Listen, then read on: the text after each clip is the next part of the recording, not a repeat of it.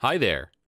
To make sure the audio file will fit for your project, please listen carefully to the audio file all the way till the end. Remember to subscribe to us as we will often add new sounds. You can find the download link in the description.